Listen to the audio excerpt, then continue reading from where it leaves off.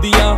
ਆਪੇ ਬੰਦਾ ਸਿੱਖ ਜਾਂਦਾ, ਖਾ ਖਾ ਕੇ ਠੋਕਰਾਂ ਜੀ ਠੋਕਰਾਂ ਬਦਾਮਾਂ ਨਾਲੋਂ ਤੇਜ਼ ਹੁੰਦੀਆਂ।